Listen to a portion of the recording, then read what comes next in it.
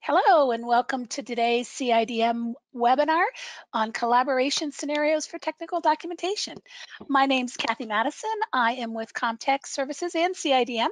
If you guys are not familiar with this, um, just so you know, Comtech Services is our consulting um, side of our company where we help clients in all sorts of um, service agreements, everything from helping them with content strategy, information modeling, um, to teaching workshops, and also doing user studies and benchmark studies for them. On the C CIDM side, that's the professional organization for uh, the Center for Information Development management and we put on conferences and we run webinars like this one. We have newsletters and there's lots of networking opportunities for our members. And of course if you're interested in our consulting services or in membership idea both of those websites are there. But uh, comtech and cidm are one and the same. And my role on the comtech side is i do work on uh, consulting projects as they come up and on the cidm side i am the member liaison. So if you have questions about membership, you can certainly um, come to me for those. And on the Comtech side, we do have a couple of online uh, workshops still scheduled for this spring.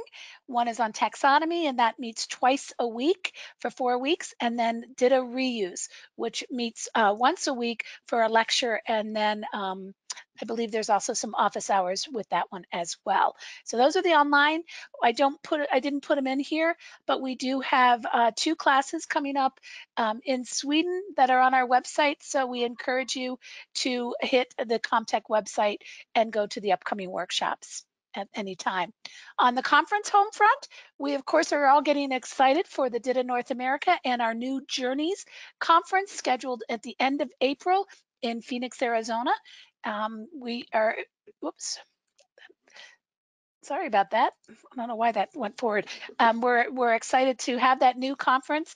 Uh, George, our speaker, uh, is planning to be at uh, both those conferences. He is speaking as well as um, Oxygen or Synchrosoft will have a booth. So if you want to meet George in person, we encourage you to attend that conference. And then I've also highlighted our Ideas Summer Conference because the call for speakers for that conference is open right now. Uh, the theme is all about a picture is worth a thousand words. Um, pictures include moving videos, etc. So we uh, uh, essentially are going to focus on um, going outside of the traditional text-oriented way of communicating information. So we encourage you to um, submit a speaker if you're a speaker talk if you're doing anything in that area.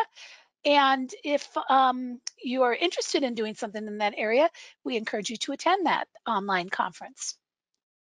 And we will have details about the best practices conference theme coming up soon. Um, and its call for speakers, I think, will come up about April 1st. So give you that little heads up there.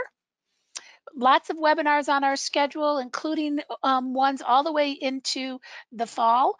We have, um, of course, George today. We've got uh, easyDITA doing a talk on DITA benefits, along with Dawn Stevens.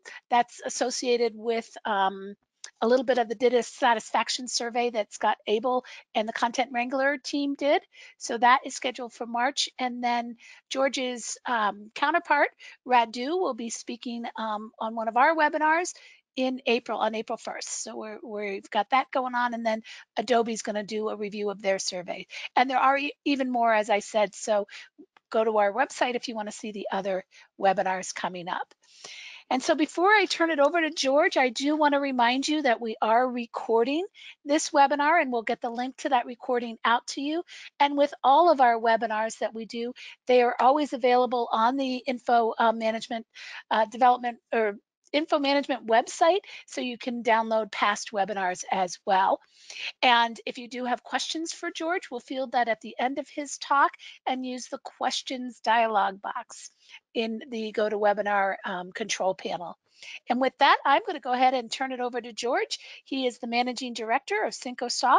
And of course, most of you know um, that as the Oxygen folks. So with that, uh, George, it's all yours. Thank you, Kathy, and uh, welcome everyone to uh, a CIDM uh, webinar. Um, uh, maybe you can make me. Yes, I'm doing that right now. Okay. you should be set.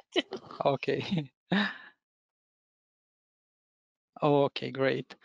So, um, as Kathy mentioned, our company is called Syncrosoft, but uh, most of uh, uh, people in the DITA and technical communication field uh, know better probably our main product, the Oxygen XML editor.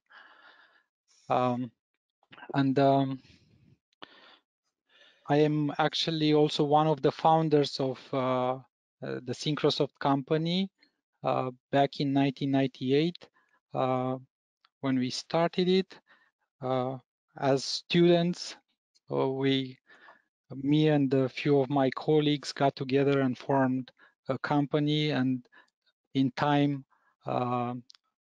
we built, we started actually after only three years in uh, 2001, we started to work on a product, an editor for XML documents that we named Oxygen, Oxygen XML editor, and that uh, became our main focus uh, in a couple of years. And since then, we are developing tools to help uh, people create, use structured content, uh, and in particular DITA and collaborate on this. So uh, an overview, a quick overview of uh, the tools that we provide. We started, as I mentioned, with the XML editor that you see here. That was mainly a development tool for XML. And then we added a visual editing functionality that is the XML authoring part and it's part of the main part of the XML author product. The editor containing both the development and the authoring functionality. We moved then a bit on uh, more on collaboration with the web uh, editor and with the collaboration platform Content Fusion. And then on the publishing, uh, we actually just uh, released a new major version of uh, our tool set uh, in the middle of February, so a couple of weeks ago, that include the feedback, which, is a platform that allow people to uh, add comments and replies uh, embedded in HTML pages, and in particular, uh, useful for the DITA generated web help. Uh, so we have also the web help and the PDF chemistry, which is an engine that generates PDF using CSS. And the publishing engine is uh, it's basically the web help and chemistry engine and uh, the DITA support that we have packaged uh, as a tool to be used for scripting. So in a continuous integration scenario and things like that. Today, I want to focus and give you some uh, ideas uh, that you can use not only with our tools, but you can just uh, take these ideas and implement them with uh, any tools basically that will provide similar support. But these uh, collaboration scenarios come from uh, our actual use in the last uh, two, three years. We are using this uh, inside our company, so within Syncrosoft itself. And let me move to the first scenario. Uh, as I am attending different events and uh, people talk a lot about uh, enabling a continuous improvement of the technical content of the technical documentation because that's useful. You cannot, I mean, everything you make, there's always room for improvement. So we create content, we publish that, and then that is used by our users and by ourselves by our, by our team, for instance. And we need these feedback loops from how the content is used to the content maintenance team to enable this support to improve the content when it hits uh, the reality, the, the real world. And uh, I think this feedback on our published content may come either from external users and the usual things that are offered are ratings, like one to five stars or uh, plus one, minus one, up, down, uh, like, and so on votes. And comments or questions that people can uh, directly add to a page that displays that comment. What we provide also with this uh, uh, feedback, oxygen feedback uh, service that I mentioned that we just released couple of weeks ago. But then uh, we also have feedback from internal users, which may be, for instance, uh, your support team, which are users of uh, your technical content. If we look at the support workflow, that looks more or less uh, something like this. So uh, when a user hits a problem uh, or if he needs some help, he will send a message on a, a support channel. So he, he, will send a support request. And that will reach your uh, support team, which will analyze that request and uh, one place to look for answers is actually uh, your documentation. So your documentation may contain responses to many of the user's requests. So they will probably search and eventually find the topics or the content related to that particular user issue. They will read those topics to make sure that they respond to that issue and reply to the user and probably close uh, that support incident. But what really happens here? Right, so we have a support engineer that will search through the documentation, trying to find an answer to a real problem. And they read topics from your documentation, not that you know they have a task to just read documentation and make sure it's nice, it's good. But they read those topics trying to respond to a real problem from a real user. So what do we have here? What can we recognize? We can recognize that these steps basically are represent a documentation review that is already done by a subject matter expert, your support engineer, right? So we already have a review process going on, and it's a very important review process because uh, there is someone very motivated to find the answer to a real question in your documentation.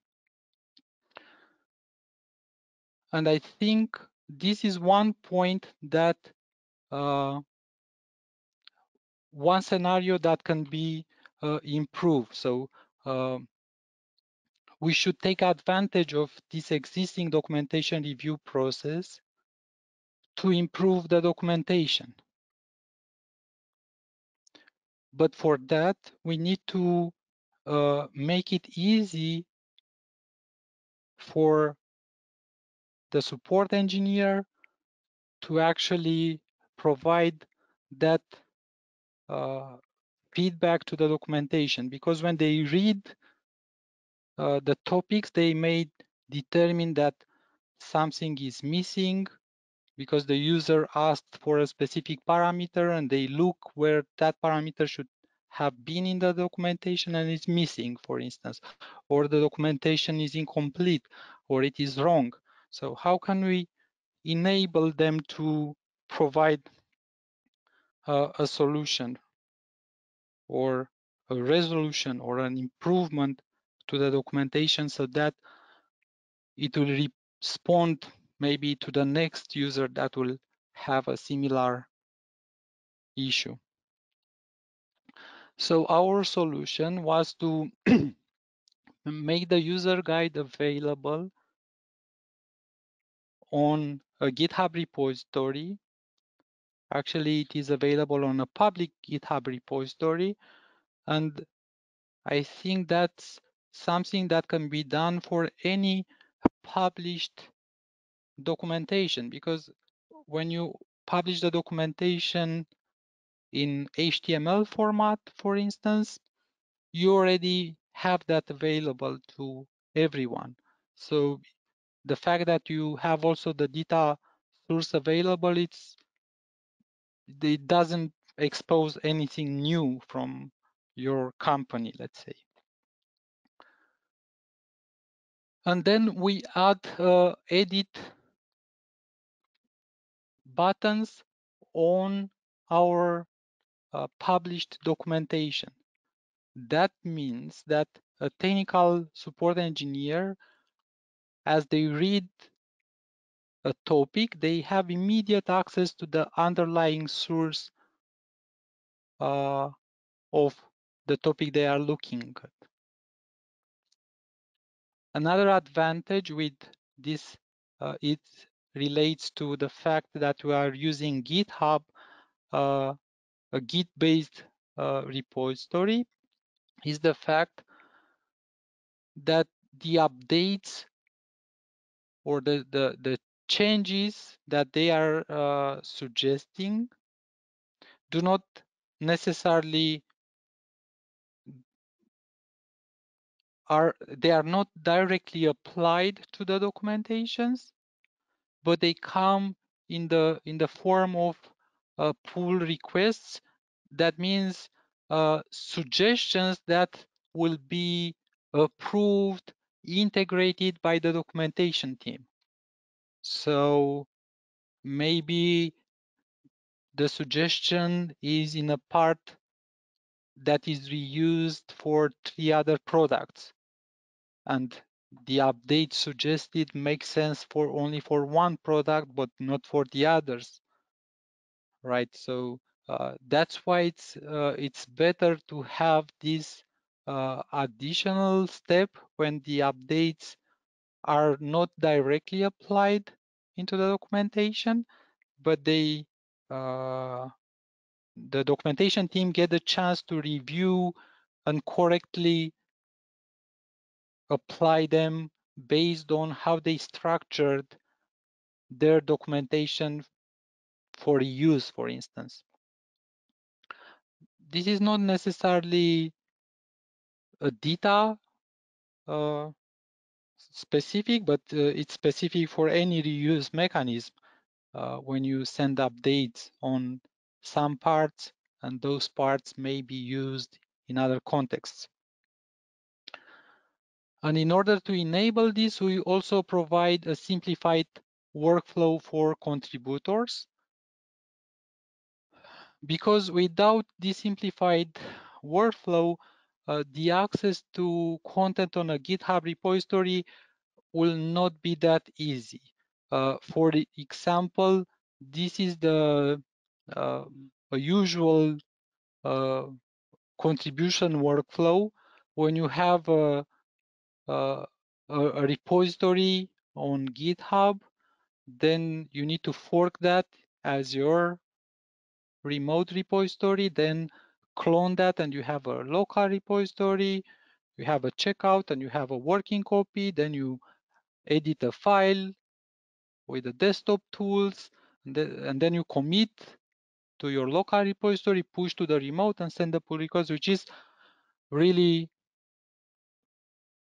too complex for many users, not for everyone, uh, but for many users that may be too complex. So uh, what we we did to enable this collaboration scenario is to completely hide all these steps and replace them with change and save. So basically, the simplified workflow is that uh, the user will just edit the file is already picked automatically by the specific edit link that they click on. So they just change and when they save the content, that will automatically imply for commit push and create a pull request. And let me show you exactly how that looks like.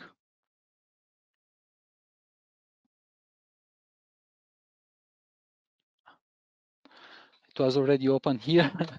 so this is our user guide that you find uh, now on our website. So if you go, let's say to Oxygen XML, uh, under resources, documentation, you have here the web help documentation or for the different products that we uh, we have. So the web help for the Oxygen XML editor will be this one. And uh, in the search field, I already searched, for instance, let's say we receive uh, a top a question about validating um, the integrity of uh, DITA content that uh, if I have a link to a topic and that the, the target topic is not present, I can get, let's say, uh, a validation warning that uh, that link is broken or something like that. And uh, so the support engineer engineer may look for DITA map validation and completeness check. And when they search for that, they get a number of hits.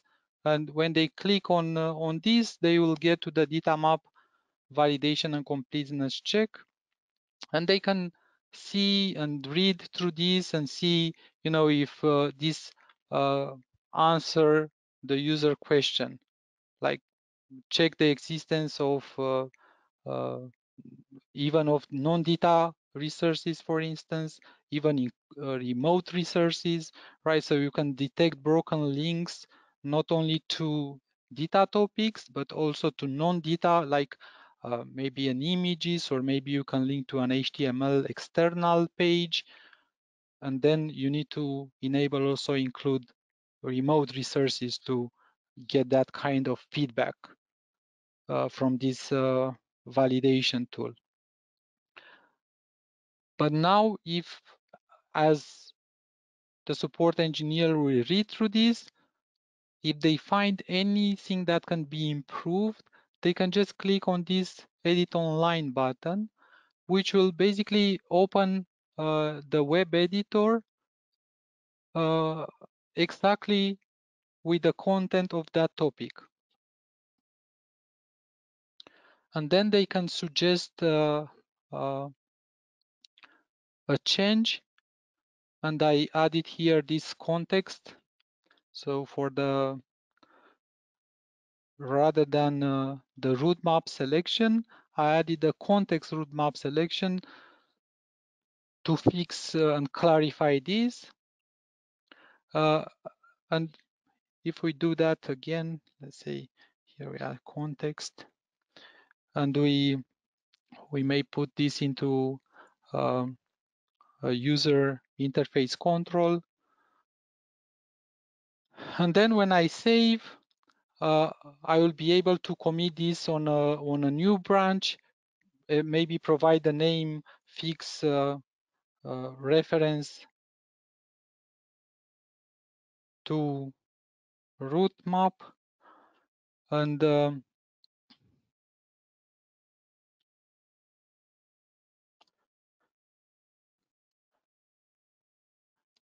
we have also a policy to provide this contribution uh, to have a sign off message.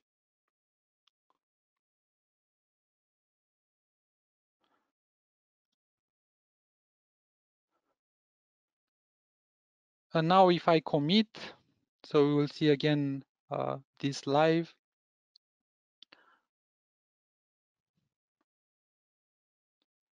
So a pull request is created automatically. And if we click on this, uh, we can see the proposed change. And if we click here, we can see uh, that I added this context UI control to the document. And now uh, our documentation team will be able to review and accept this pull request maybe or ask for more. Um, so I did the same uh, just in case so we can have it uh, available. So that's, uh, and this, you can see these are basically live on uh, uh, on GitHub, right? So you can see the the pull requests and uh, actually we can also because I have uh, admin rights on this project, I can also accept the pull request. But otherwise, if I will be like a normal user, I will not have this. So if you access this URL, you will not have uh, the merge pull request button. But in my case, I can also say, okay, I, I can merge uh, this pull request and then this will automatically be applied on the hotfixes 22.0 branch. That's because um, our branching structure is the, the, the master and then we have different hotfix, hotfixes branches for different versions. So we can, uh, we still have the documentation available for other versions of Oxygen. And they are also, they may be, the documentation may be updated if we decide, for instance, that we need to republish version 20, adding support maybe for a newer version of Java that for some reason does not work with version 20 anymore. Let's imagine that scenario. So a new version of Java comes and uh, we need to support that as well. Uh, version 20 is still uh, is not in end of life, so it's still a supported version, let's say. Then we need to go back and maybe apply some fixes uh, on the product, but then we need to update also the documentation to reflect those changes and republish. So that's why we maintain these hotfixes branches uh, to be able to go back to different versions of uh, the user guide and republish, repackage the documentation with the product if needed and uh, make a new release even for older versions. And there may be different reasons for that, like uh, different security updates uh, that are needed and so on.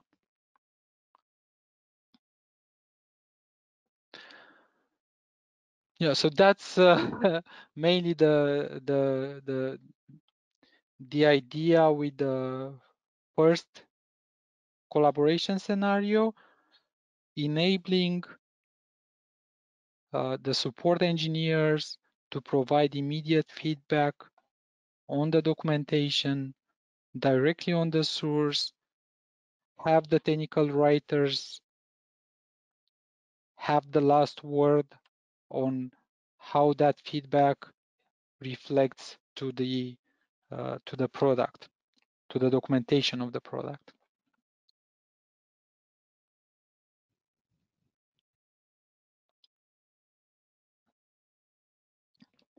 And in that case, we take advantage of the fact that um, the web editor is not, and that's very important because many people may think that a browser-based editor is like a desktop editor, but it runs in the browser. That is true, but the main distinction, I think, the, the, the importance of a web editor comes from the fact that you can reach uh, the, the, the browser-based editor using a URL. And in our case, the URL, if you look, uh, uh, maybe, maybe we can look here into, um, we can click edit online again, and we can look here. The URL looks like this. So it's, uh, it's the base URL for the web editor, and then it has different parameters. URL equals, and that will point to github.com, uh, the Oxygen XML project, the user guide folder, uh, sorry, the user guide Oxygen XML uh, account on GitHub, the user guide project, the hotfixes uh, 22 branch, and then the DITA topics uh, folders, and then within the topics folder, the DITA map validate dot DITA file.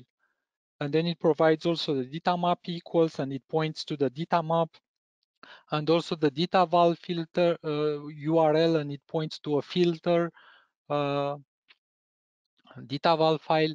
So uh, the idea is that you can create such a URL to enable someone to just follow a link and be able to reach the browser-based editor with access to that specific data source. And then you can embed and play with these uh, edit links and uh, push them in any document or in any place where you can have a URL, even into a PDF document, for instance. So the same can be done to have these edit links within PDF documents. And we provide DITA Open Toolkit plugins to generate these edit links automatically for PDF and HTML-based transformations.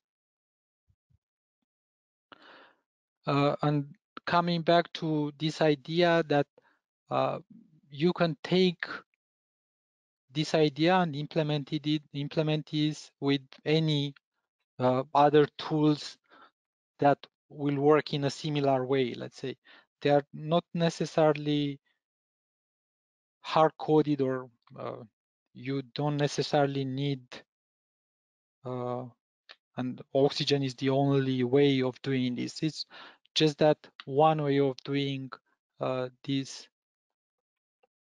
Um, and uh, of course, we are using uh, oxygen and we are using this for already for a number of years.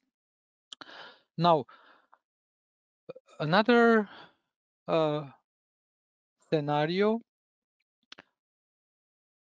relates to how the development and the documentation interact. Because uh, in our case, and I think in many cases, the documentation is not created without a direct connection to the product. The documentation actually follows the product update. So once you have the first version of a product and you work to create the, the next version,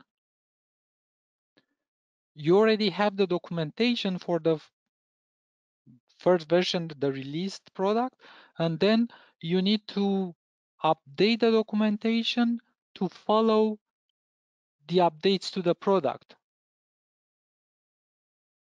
And the question is, how do we make sure that we document everything? And um, not only that, but uh, once the documentation is created, we want that to be reviewed by the subject matter experts that know better the technical part, let's say, and they need to check that. Yeah, so that's uh, how the the documentation update works uh, in our case, and I think also in the general case, mirroring the product updates. And in our case, we track the product development using an issue tracking tool. So we do not just uh, randomly change the oxygen uh, source code adding functionality. We record an issue for everything that we want to do, either if that is a new feature or a fix or an improvement. And once we have these uh, issues recorded, we will prioritize them based on I don't know benefits, uh, how easy or how difficult it is to fix something or to implement something and so on. And each issue uh, passes through different states, like uh, it's uh, open, uh, people work on that, eventually it will be fixed, it will be verified that the fix actually resolved the issue, and then it's closed. So in order to integrate this documentation part, uh, we extended uh, the workflow to add this documented state. So once the issue was fixed and the QA team verified that actually it works, it does what the fix is supposed to do. So like a double checking, we have a lot of automated tests. They are also part of the development process, but we have also this uh, QA step when uh, someone will actually verify also manually once uh, the issue that it's it's actually fixed. So we added this documented state. So after the issue is verified, it goes to the technical writers to update the documentation. And in this way, we try to make sure that the updates to the product are reflected into the documentation. And then the, the next stage was that we want the documentation to be reviewed by the subject matter experts, in our case, by the development, uh, developers. So let me go back here. This is uh, from our internal issue tracking system. We use Jira and we extended the default workflow to include, uh, as I mentioned, this uh, documented state um, and reviewed state.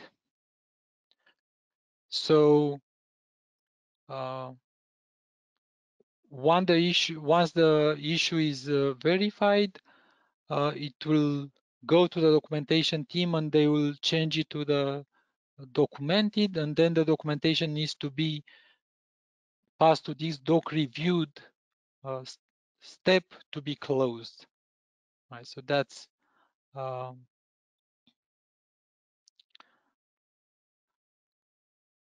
well this does not show uh, but from the reviewed it goes to the documentation you can see also that we have the qa stage we have also the code review process so there are more stages here. So how can we how can we enable what we want? First, um, so the question is how the subject matter expert, the developer in this case, uh, how how is he able to find the relevant information to review the documentation? that's the the one of the most important thing because if you want your developers or subject matter experts in general to review the documentation imagine that if we have um, before the release we ask for our developers now let's review the documentation. So they work maybe three months or nine months sometimes uh, to create the functionality for a new version of the product and then you need to review all that at once. Or even if we give them here's the user guide even after each issue if they receive the user guide and say now review the updates to the documentation you know and you have like 2000 pages in the user guide. That's not doable and uh, you cannot waste uh, the developer's time with something like that so what we uh, implemented is that we automated this process adding a message directly into Jira, the issue tracking system used by the developers, with something like you can see here. So whenever there is an update to the documentation related to a specific issue, within that issue, we add a message like this, files to be reviewed, and then we point to the files that were modified with links to show the diff, to show what was changed, how this file looks like when it's published, in our case as web help, and direct access to the source of, uh, of that topic. And I have here, not this one, sorry. Yeah, so I have such an issue on our Jira. And this is uh, the entry added by this script, which is basically uh, like two pages of uh, uh, batch script that will push this message into Jira. And uh, it gives access, as I mentioned, to uh, how the document looks like when it's published. So this is the DITA Open Toolkit project HTML file that's generated from the DITA Open Toolkit project.dita file. So when this topic is published, it will look like this. Then uh, if you click on the source, you get access to the source of that topic. In this case, because we are still under development, you can see that we have a different project, user guide minus private, which is a private GitHub project in this case.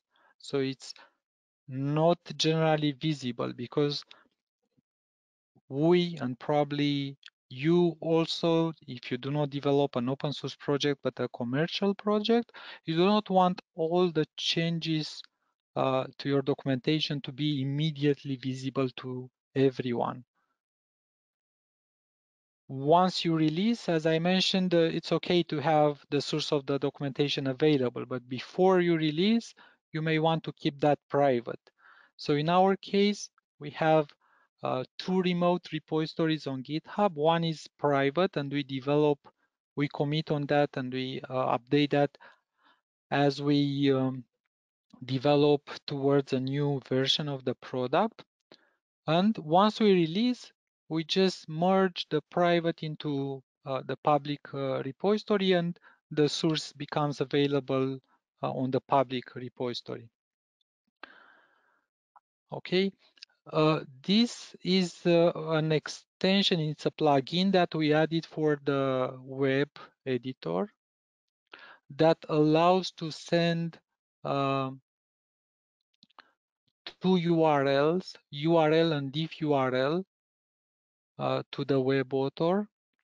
And uh, in that case, the web author will present the file side by side and will apply an XML aware uh, three-way diff. You can actually uh, provide three uh, three parameters to provide the uh, file that you compare, the one that you compare against, and the common ancestor.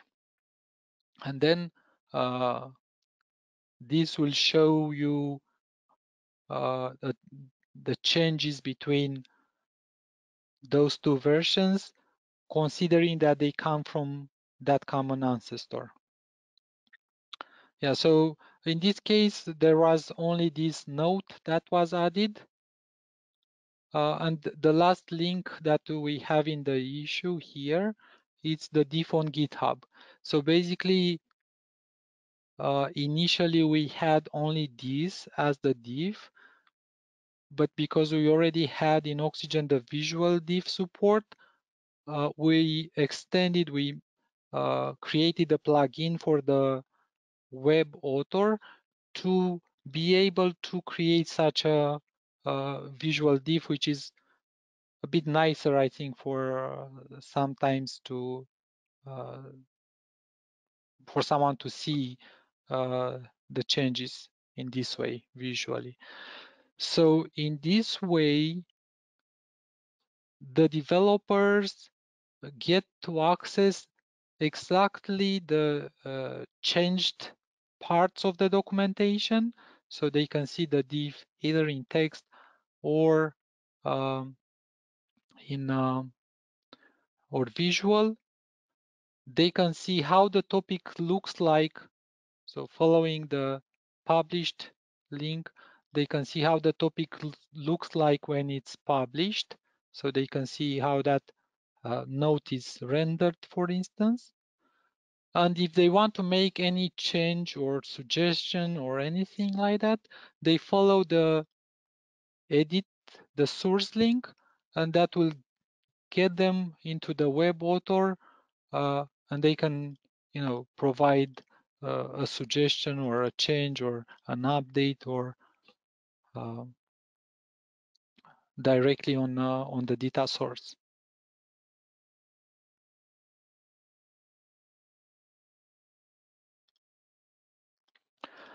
But how uh, is this all possible? Uh, this takes a similar idea with what we have, what developers use for uh, code changes.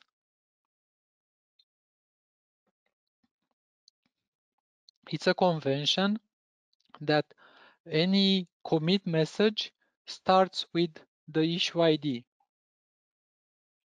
And this allows to aggregate all the code changes uh, into the issue. So we apply the same convention for documentation, which means that any documentation commit message, so any change to the documentation when the technical writers will commit that change, they will include in the commit message the issue ID. And that allows that script to automatically identify each commit to what uh, Jira issues it relates. So then uh, it makes possible to create these uh, these messages here. And you can see also now the uh, uh, the documentation review step when someone just added, you know, like this is optional actually to add something also a message or when you transition uh, through the documentation review stage, you can just transition that or you can add also uh, a message.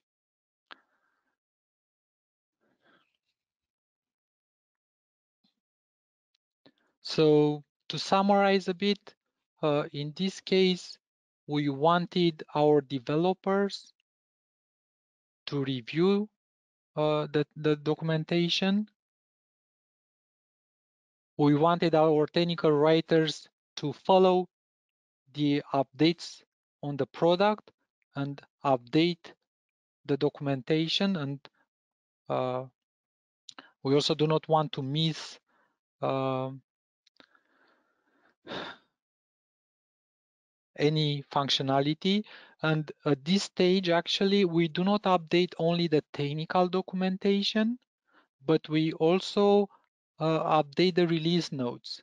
As you can see um, uh, this documentation stage uh, we push also also into the what's new list into into which is basically uh, our release notes that are used when we announce uh, the product. Some uh, issues will not trigger an update to the what's new list. Others will uh, uh, will trigger such an update, and sometimes some features will trigger an update uh, on the website. On we have also some additional marketing information on the website, and at this step, when we have this, uh, when the issue should be documented, that can push an update also on that uh, website content, which is marketing content. And we enable that by integrating directly into the developer workflow tool, into uh, the issue tracking tool they are using, automating that process, exposing them only to the modified, to the uh, minimum part that they need to see. So rather than show saying, okay, this was documented, now figure out, you know, where in the documentation there were changes, right? So we, we give them uh, pointers to exactly where the changes are, what are those changes, and also ways to uh, enable them to modify or correct, improve those changes if needed.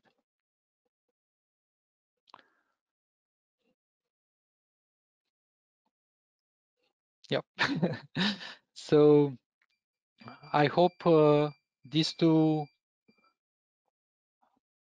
uh, first two scenarios gave you some ideas and also you were able to see all uh, another thing that these edit links uh, in this case are uh, sent to Jira, for instance, to an issue tracking system. You may have maybe some other issue tracking system that will work in a similar way.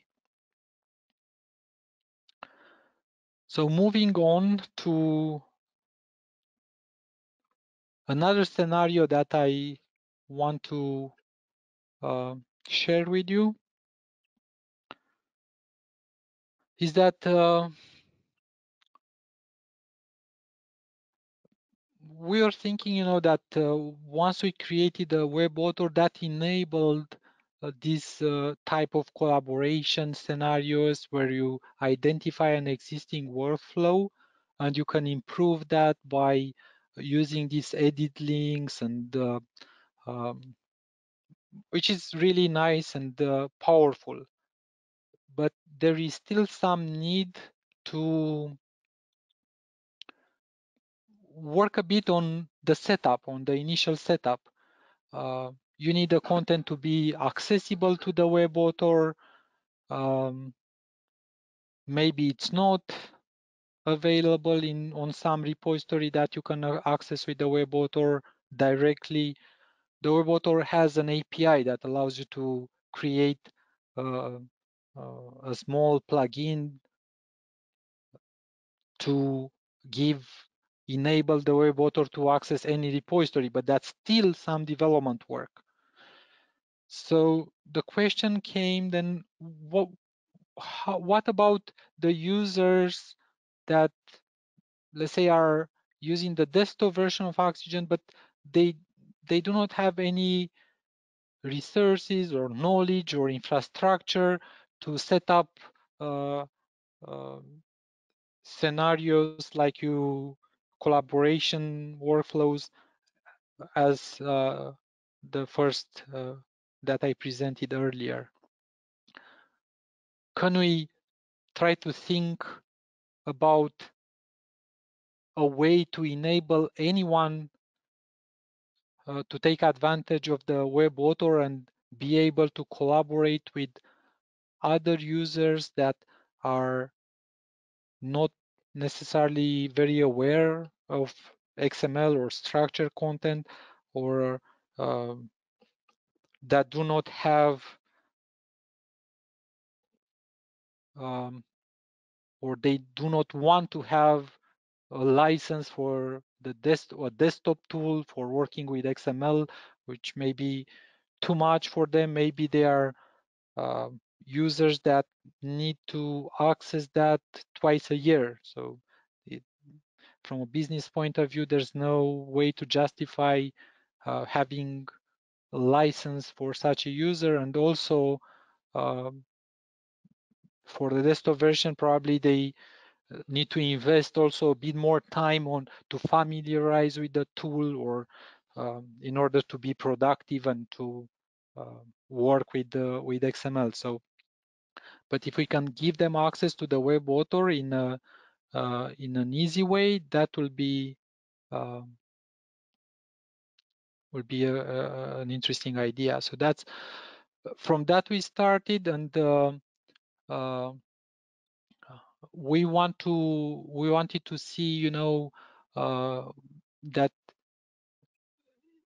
if you need to collaborate, but the people you collaborate with do not have access to uh, your tools or to similar tools.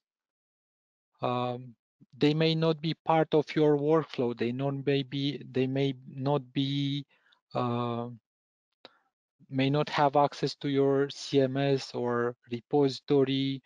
Um, but you may want to review or approve their changes before those changes reach the repository, even if they have access to the repository. Um, maybe you want also a less formal way to receive for feedback.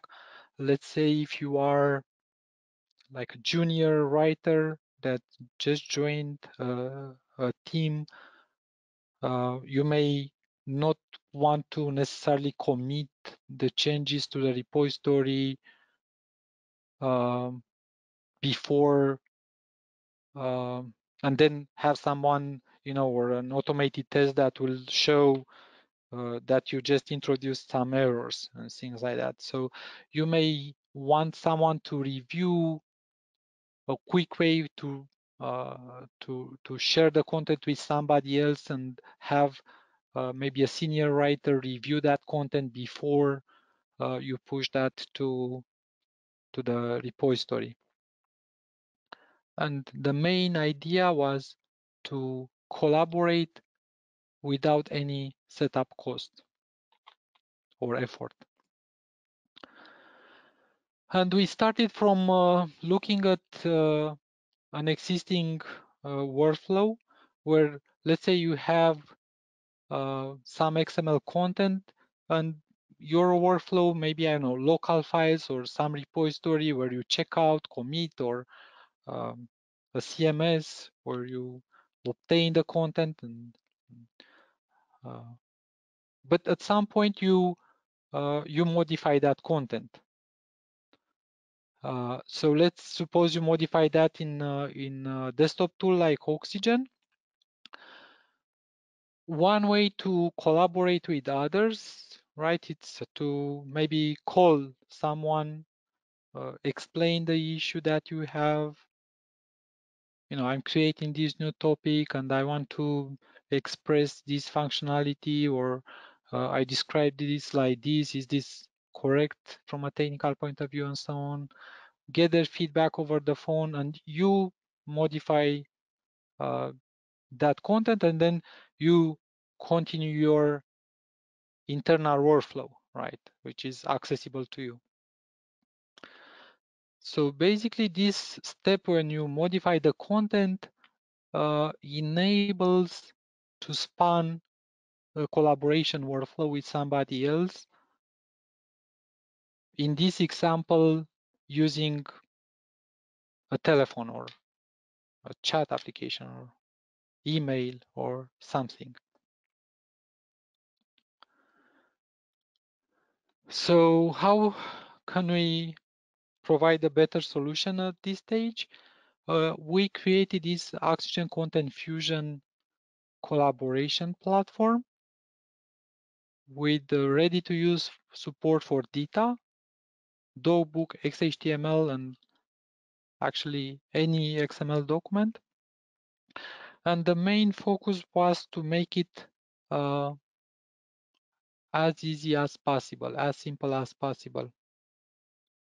So the uh, the content owner, we call this the author, uh, will select some of the content and create uh, a review or a collaboration task based on that content.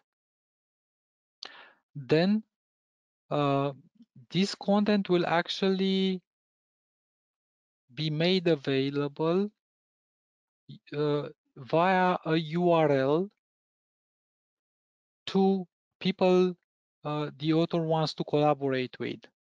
So the author, after uh, he creates the review or collaborations task, will receive a URL, a link that uh, will send to the people that he wants to collaborate with. Those will be able to follow the link in any modern browsers. Basically, they would use the web author to interact with the content. So they will be able to make changes to that content, add comments, you know, and so on. And optionally, they can mark, uh, they have an option to say, I'm done with this. So uh, then the author will see that the reviewer finalized uh, his tasks, his changes, his review process. Then back, the author will be able to just press a button and bring in those changes made by all the people that uh, he shared that uh, link with back into the original files he created the collaboration task in the first place. So that's uh, basically uh, the process and the tools that uh, we provide for that are the editor or author products, the desktop tools. They come already with the Content Fusion uh, connector plugin pre-installed. That will con uh, connect to the uh, Content Fusion server, and we have uh, um, our demo server is generally available and it's uh, uh, uh, you can use it without any cost. And uh, the reviewers will use any modern browser to interact with the with the content. So then uh, that workflow where the user modifies the the the content changes like this. So the user will uh, create a task and share the content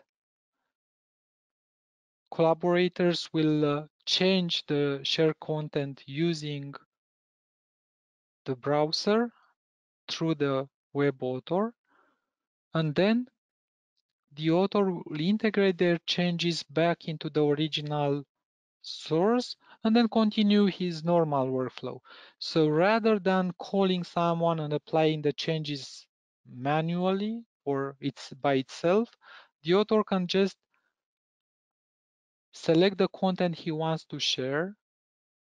A copy of that content will be placed on Content Fusion and uh, the collaborators will change that copy and then when the, the author uh, integrates their changes, we use that uh, three-way uh, XML aware merge support that we have to bring in those changes, uh, presenting the visual diff and so on.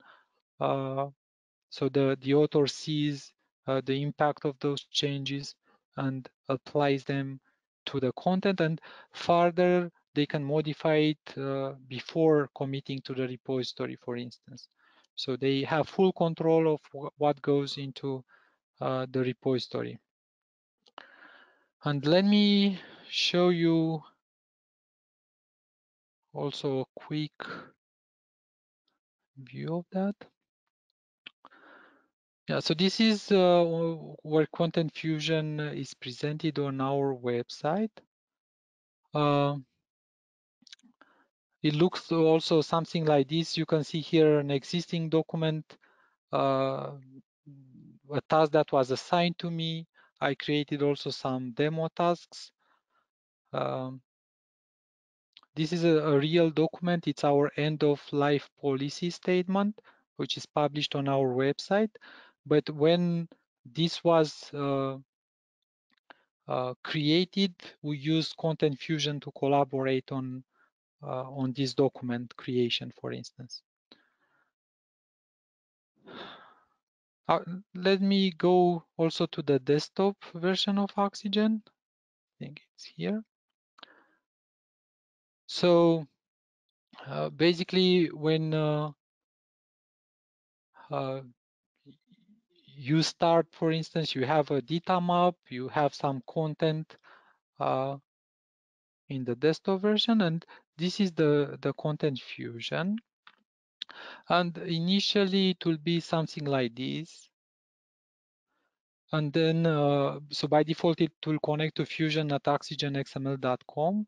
When you say connect, it will ask you to log in, sign up for a Fusion account initially, and then to authorize uh, Content Fusion, the plugin, and the plugin will display the existing task plus this placeholder to create a new task. So if I want to make, to give access to these three files, for instance, I, I can select these um, uh, three topics in the DITA maps manager, drag and drop them here, provide a name for the uh, review task and see, hit upload. And now, as you can see here, I have uh, this URL that I can share with uh, the people that I want to give access to this content. And when they will follow the URL, they will be able to see uh, the content in the browser, even on a, a tablet or a, on a smartphone and then they can review this uh, you know adding more content maybe adding a comment uh, deleting something and so on. Uh, by default uh, track changes is enabled uh, is forced for for a task. But you can decide maybe that you don't want track changes to be forced necessarily And back in Oxygen, you can see that I see that one file changed. And then I can press the get changes. Maybe we should make also changes maybe to another file, but just the idea is that you can uh, go through this and see uh, the changes, even the, so this block was changed, but within that, you can see the uh, secondary change that actually uh, gives you a lower or a, a smaller granularity of the changes at the world level. So then you can actually uh, better understand uh, what was going on. And here it was just a comment on this and uh, the addition. But even, uh, and it says that the file can be automatically merged. So you can apply this and this will appear, all the changes will appear here. And because I use uh, track change information, I can use the review panel uh, to go through those changes and maybe reject this one uh, the comment, I don't know, I can keep this. Uh, I maybe I accept this change, and uh, this was an existing comment. I may remove that, and I know I may um, decide to act on this comment. You know, uh, let's say I I add some content uh, based on that, and I, then I can remove the comment. And now I save this and I'm ready to continue my workflow. If this was on a repository, let's say with uh check in, check out or something like that, then I can check in my changes and so on, or commit my changes and so on. We added also, uh, in the last version, we added also support to uh, allow also subject matter experts, let's say, to log into Fusion and create a new task. So then uh, they can provide uh, uh, maybe initial content, for instance. So they can write about uh, uh, a new feature or uh, something like that. And once they are done, uh, they will be able to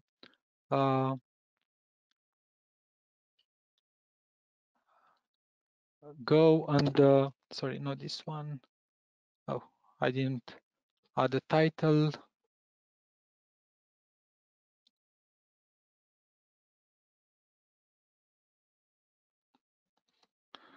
Something like this, let's say, and then they can assign this further to a technical writer that will integrate this uh, draft content, let's say, into the actual documentation. So that's a new uh, addition.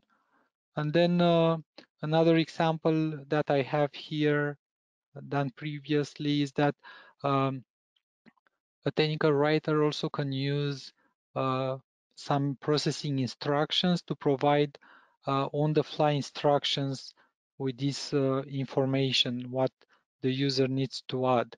So here, uh, if I type the actual information, the uh, this uh, text disappears uh, automatically. So, but uh, it still remains for the current editing session if I delete the content and the element becomes empty. But otherwise, uh, when I I'm done with the with this, uh, there will be no uh, no processing instructions or no garbage, let's say hints garbage left into the file. So that's another possibility uh, for the contribution part, not for the review. So you can create like a template and share that template with somebody and they can just fill in uh, the information into that and you can integrate that uh, and you control these uh, processing instructions. Actually, we can see them also here. They are something uh, like this placeholder content and then uh, something is written here, which is the actual uh, content that you see uh, rendered with uh, with gray here in the in the in the author. Yeah, so so that's more or less uh, uh, the last uh, part where we tried basically to enable any Oxygen user to be able to immediately share content uh, with anyone and uh, do not require them to install any tool. They will just follow a URL and they will be able to interact with the structured content directly uh, into a browser from any modern device, uh, desktops, laptops, tablets, or smartphones, and then be able to integrate that back into the original uh, source. So I think I'm uh, I, I I finalized uh, my presentation, and we still have a few minutes for uh, taking responding to some of your questions. Sounds good. Thank you so much, George. Um, very interesting scenarios, a little overlap, but also very unique. I, like that. Um, remember, if you have questions for George, type them into the uh, control panel. There are a few that, two that came in when you were talking about the um, content fusion. The, and I can't, can't remember if you showed this or not, but is there a way to do an at mentions for, you know, the reviewer so it can tag a specific um, SME?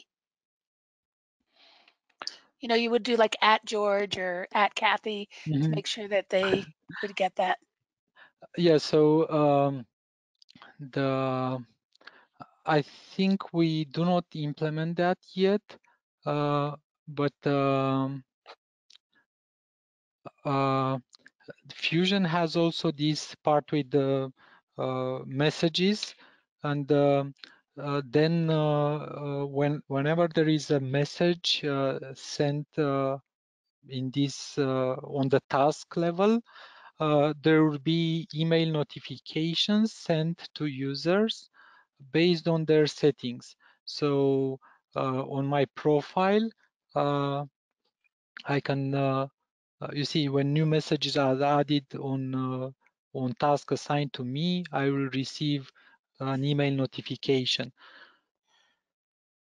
So there's no mention, but wherever someone will uh, send a message on the task, will add a message, I can receive uh, uh, a notification by email about that. Uh, mentions are on our to-do list. So that means you'll have them done tonight by midnight, right? Knowing you guys now. Just kidding. Okay, what about um, also in the Fusion, can the author add XML tags? I thought that I think.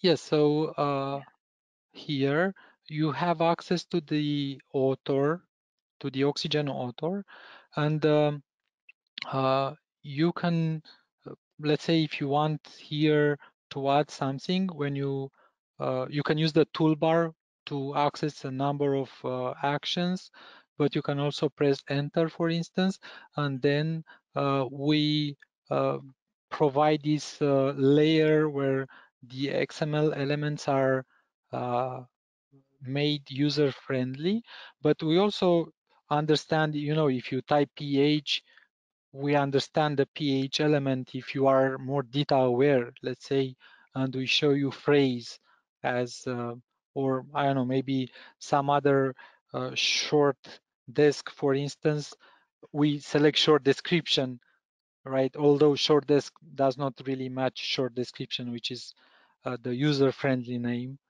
Uh, and then, as I mentioned, you have all the toolbar actions, uh, and you can also control, uh, because this is the web author, um, you can take advantage depending on the CSS files or on the frameworks that are, you are using. Uh, you can have a different authoring ex experience. Uh, basically, you can use uh, anything. Uh, if you go on the web author, we have a dashboard with samples, and then uh, you can see here uh, a number of customizations with form controls, or for instance, for lightweight DITA, there is uh, you have this kind of uh, plus when and then you can select uh, from different actions that you can provide inline hints. The, the same web author is used also in Fusion, so you can have a similar editing experience for a user. So in this case, if I want to access the attributes for this image, I can just say edit uh, and uh, done, and then I can get access to uh, with uh, these forms to some attribute information and so on. So um, yeah.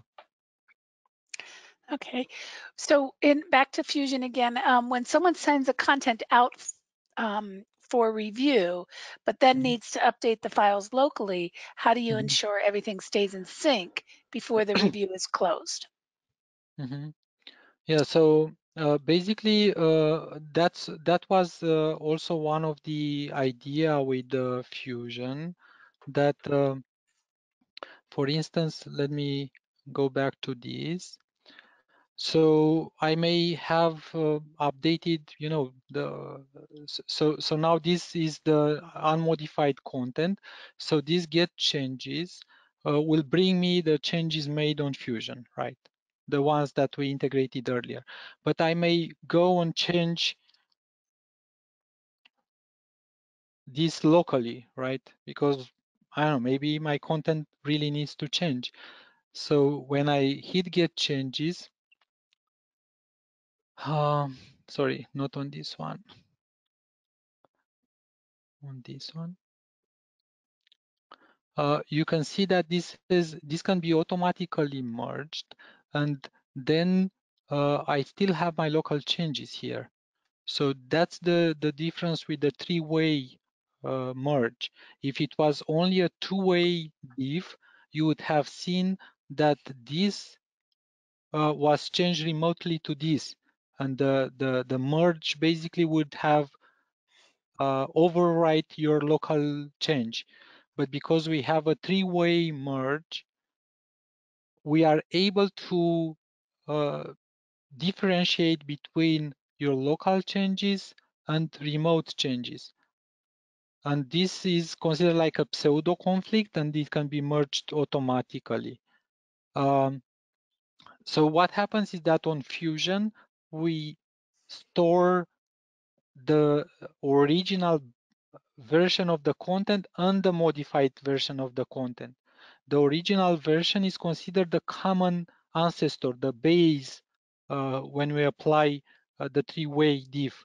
It's the invisible part which uh, is the ancestor of both these versions, let's say. And that is used to uh, determine that this is changed uh, from the base and this is the same as the base. So actually this is a local change, is not that the remote changed this paragraph in this case. So now when I apply the changes, my local changes uh, is uh, are still here.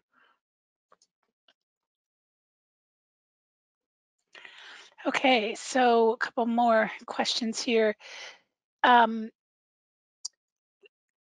do, can you generate a report on the number of open questions that need to be addressed? And again, that fusion related question. A report on number of open questions. Questions anything like that to know the status of outstanding um, requests. Yeah, so so basically um, Fusion also has uh, automatic locking on topics. So uh, basically, if I go, what we recommend is that when there are comments uh, or um, uh, changes, uh, sometimes um, uh, or issues that people are not sure exactly what uh, uh, they should handle them, uh, they they should go on Fusion, you know, and uh, reply to a comment. So if it's um, um, please provide details or something like that.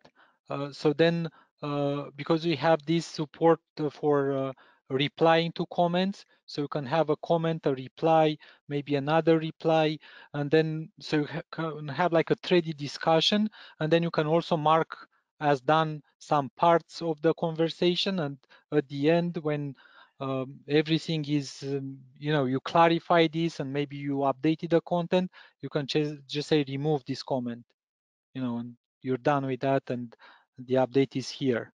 Also as a, uh, as the owner of the task, I can also go and accept some of the changes.